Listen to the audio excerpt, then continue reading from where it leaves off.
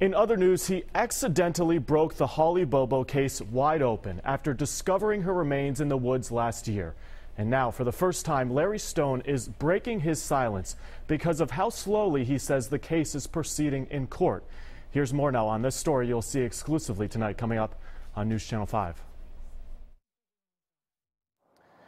It was just off of this old logging path here in Decatur County where the three and a half years long search for Holly Bobo came to an end back in September. She was found almost completely by accident.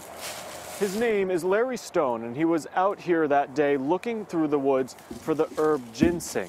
Says at one point he saw a bucket near a tree, and then a strange feeling came over him. That's when he turned around and made the discovery that would change his life and this case forever. Larry is a very simple countryman who has an incredibly big heart and has been deeply touched by what he found that day. You're standing there looking at remains that you know belongs to somebody that was loved, and you're sitting there looking at the ground and you're seeing your daughter laying there in her face. It hits home. So why come forward now and why open up about what he found that day back in September? You'll hear from Larry in his very first television interview coming up tonight at 6 o'clock.